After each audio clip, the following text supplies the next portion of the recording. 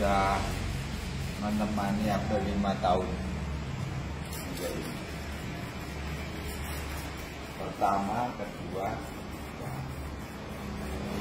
oke